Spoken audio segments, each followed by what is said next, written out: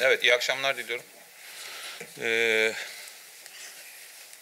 bir öncelikle e, Samsun Spor, özellikle hocanın değişimiyle beraber son 9 müsabakanın 5'ini kazandı. Bunların bir bölümüne geriden gelerek kazandı.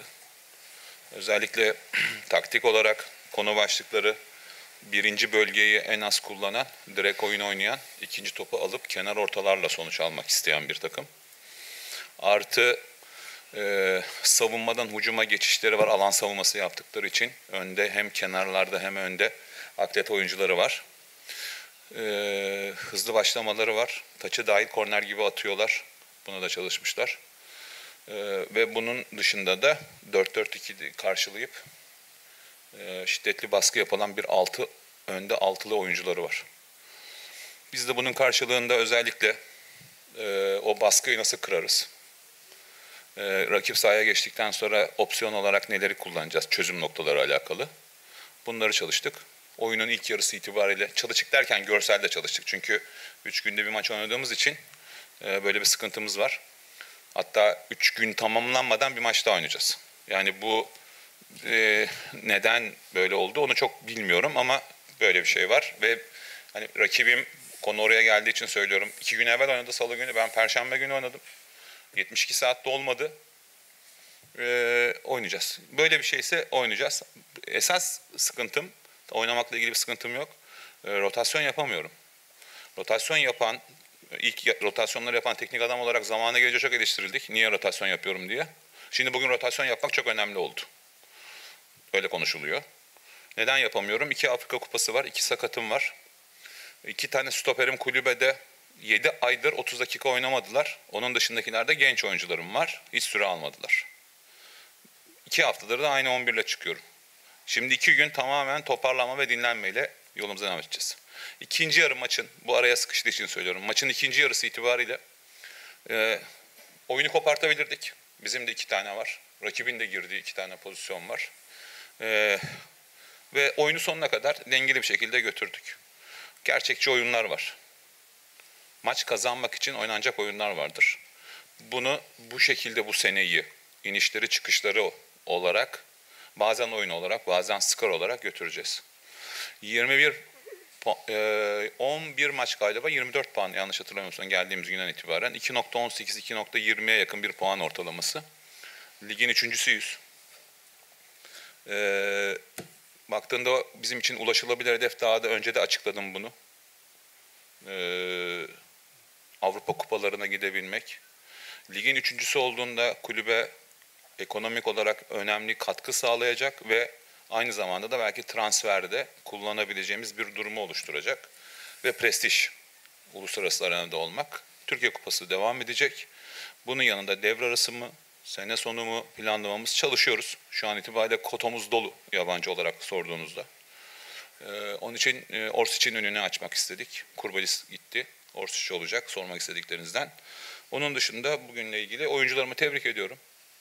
Trabzonspor taraftarına e, özellikle e, gösterdikleri üçüncü seneyi bitirdim. Ben burada arada bir yedi, yedi ay boşluğum var.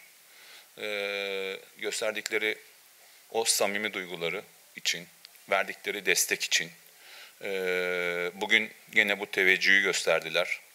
E, gösterdikleri e, iyi niyet, takıma destek. Bugün bütün Trabzonspor taraftarına, Trabzonspor şehrine onlar kazandığı zaman, Trabzonspor kazandığı zaman burada şehirde herkes mutlu oluyor, biz de mutlu oluyoruz. Onlara armağan ediyorum. Biraz evvel sormuşlardı size de ifade edeyim. Kulübün içinde veya buralarda bir takım böyle tarihine sahip çıkarak bir takım görseller yapıyoruz. Sağ olsun medya sorumlumuz Nuri de buna çok önemli destek oldu. Kulübün içi, stadyumun içinde bunları gerçekleştiriyoruz. O zaman da sordular bana, bugün de sordular Trabzonspor senin için ne ifade ediyor diye. Trabzonspor, ben geldiğimde 3 sene evvel e, tarihte ve müzede yer almak istiyorum demiştim. Allah'a şükürler olsun bu benim adıma gerçekleşti, ekibim adına gerçekleşti. E, ve e, biz tabii ki teknik olarak bir takım katkılar bulunmuş olabiliriz ama Trabzon şehri ve Trabzonspor bana çok şey kattı. Onun e, ucu bucağı yok. Onun için hem Trabzonspor'a hem Trabzon şehrine bu anlamda teşekkür ediyorum. Bizim duygumuz karşılıklı böyle olduğunu düşünüyorum. Ve şu ifadeyi kullanıyorum. Trabzonspor bir yolculuktur. Bunu arşivde de yerini alacak. İnançtan demir alıp imkansıza mümkün kılan bir yolculuk. Ben böyle düşünüyorum. Onun için iyi ki buradayız. İyi ki Trabzonspor var. Onlara da teşekkür ediyoruz buraya gelenlere. Oyuncularımı tekrar tebrik ediyorum. Evet. Soru var mı? Yunus Bey.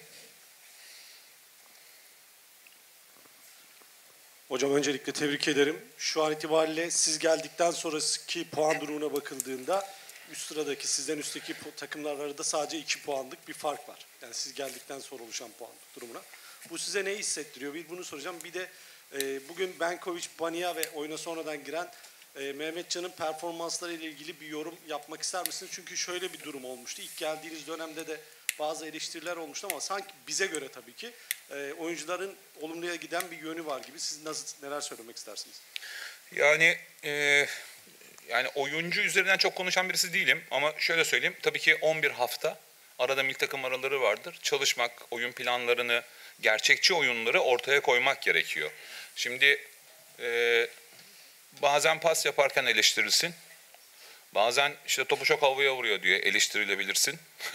Bunun içinde yüzde yüz karşılığını alabileceğim bir durum yoktur. Tabela neyi yazıyor gerçekçi oyun olarak? Gerçek olan odur. Ee, hani keyif veren futbolun karşılığının ne olduğunu bilmiyorum. Ben bu e, ülkede oyun olarak rekorlar kırmış, istatistik rekorlar kırmış birisiyim. O da eleştirildi. Bu işin içinde var mı? Var. Ama gerçekçi oyun tabelanın ne yazdığıdır. Onun için e, ağır gidecek belki, dalgalı gidecek, inişli çıkışlı gidecek. E, biraz evvel ifade ettiğim bir şey var. Yani Galatasaray'la Fenerbahçe'yle hani puanı diyorsun ya. Yani bu da mesela şu an itibariyle e, baktığında Trabzonspor'un forması geçmişi tarihi yarışır. Ama e, oyuncu kadrosunu zenginleştirmemiz gerekiyor. Bu bir gerçek, bunu siz de biliyorsunuz. Ama şükürler olsun oyuncu grubu da buna cevap verip belki zor da olsa e, bu mücadeleyi göstererek e, maç kazanmaya devam ediyoruz. Umarım e, daha fazla kazanırız. E, gerçekçi ulaşılabilir hedefimize ulaşırız.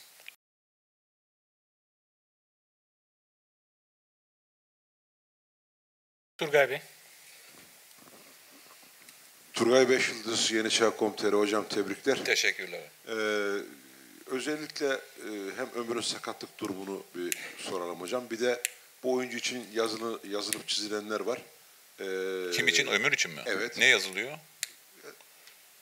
Git, gidiyor, gidiyor. Transferiyle alakalı e, yazılıp çizilenler var. Size mutlaka kulağınıza gelen oldu ya da olmadı. Sosyal medya kullanmadığım için doğrudur. Yapabilir misiniz? Bir sorun bu. Tamam. Sakatlık ve durumu.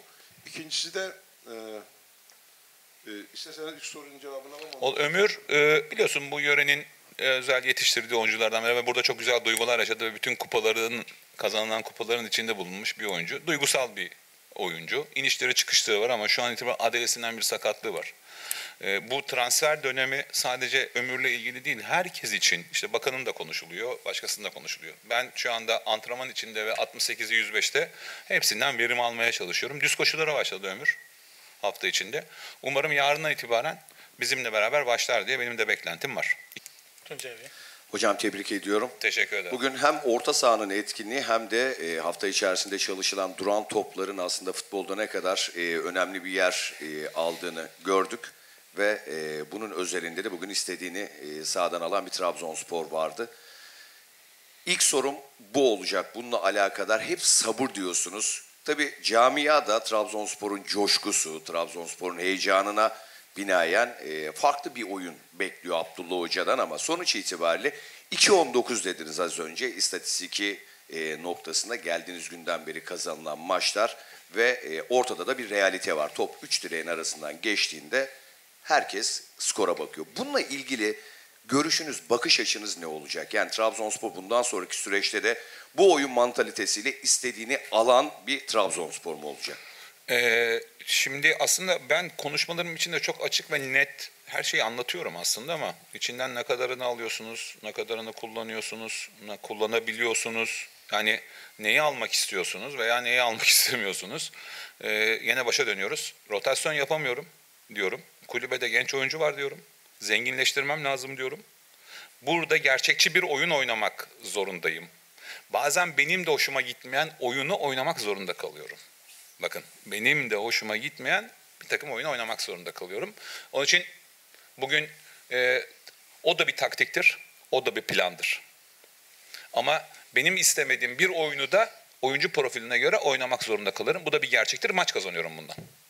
Rakibe göre, oyuna göre, duruma göre bunu değerlendirmesini yapıyorum.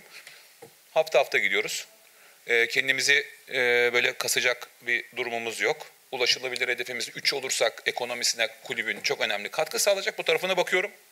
Ona göre planlamasını onun şekilde yapmaya çalışıyorum. Hocam ikinci sorum da bugün federasyonun açıkladığı şekliyle beraber 14'ten 12'ye inecek. 2027'nin sonuna kadar da 11 yabancı kuralı geldi ve 30 11 e, değil 12 geldi galiba. 12. 12 düzelteyim. 12. E, 30'dan da 26'ya düşen bir e, liste oldu. E, değerlendirmeniz, görüşünüz ne olur? Bununla ilgili teşekkür ederim. Ben e, bunları konuşarak değiştiremiyorum. Yani değiştiremem. Benim işim değil. Bunu Futbol Federasyonu ve Yönetim Kurulu var. Ama milli takım teknik direktörü de yapmış biri olarak 5 artı 3'ler, 6 artı 3'ler, 8 artı 3. Sonra de- dediler ki 7 artı 4'e dönecek. Sonra da 6 artı 5'e dönecek. Sonra o sene bozuldu, uzadı, bozuldu. Şimdi de böyle bir şey çıktı. E, cevabı şu. Aşağılarda da ak- akademilerde de çalışmış. E, birisi olarak. E, genç milli takımlarda da çalışmış birisi olarak. A milli takımda da çalışmış birisi olarak. Yerli yabancı rekabetini oluşturacak bir durumu oluşturursak serbest gaz. Anlat, an, yani, ifade, yani çok kısaca yani ifade etmeye çalıştım. Onun için teşekkür ediyorum. Okey. Evet.